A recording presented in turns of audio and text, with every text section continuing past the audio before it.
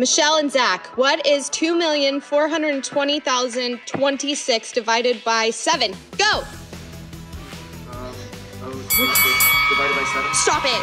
Got it. Oh, wait, was that right? Did I win? Michelle won, even though you had a calculator. What?